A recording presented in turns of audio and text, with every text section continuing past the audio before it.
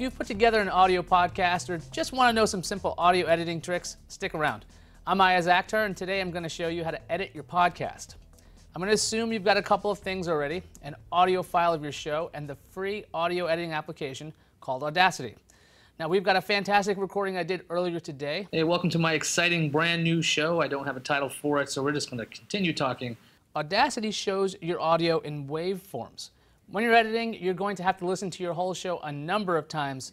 So get comfortable with your recorded voice. Trust me, it's not so bad. Anyhow, as you're going through your show, find areas you want to snip out. Things like table hits or the word um. So I'm looking at my audio file here. I'm going to play back some of the audio. On a show where um, I don't really know. There's the dreaded um. What I'm going to do is I'm going to select the um right here, and I'm going to hit delete. I'm going to go back a few seconds to hear if it sounds natural or not between the things I was saying.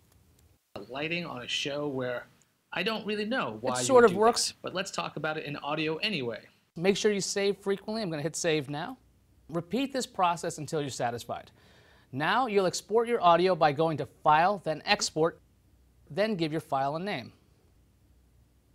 Now we're going to need another piece of software called Levelator. Be forewarned that this application is no longer supportive as of 2012, but a quick web search will bring you to an archive.org site that still hosts the application.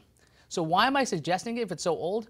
Because it automatically will level out your audio file. So if you were off mic or whispering, the audio levels will be brought up to suitable volumes so the audience can hear you.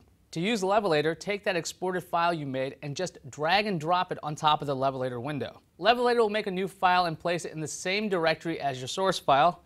You could be done here, but let's get some intro music. Please do not just clip out a piece of your favorite song and use it as your theme without permission. It can get your whole episode taken down. Instead, I suggest doing a search for Creative Commons music or checking out a repository of Creative Commons music like at Vimeo.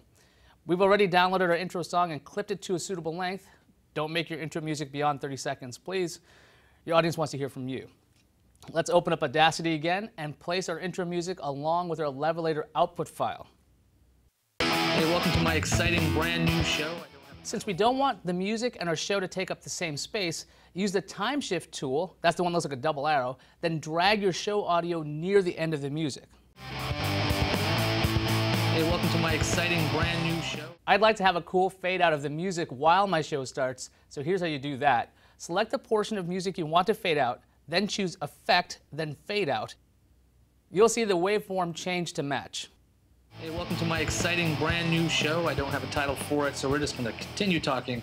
Listen Today, to your edit, and if you like your work, hit export. Now you've got an uncompressed, edited version of your show. There are a lot more steps from here before we can post this amazing show online, and we'll have a follow-up for that soon.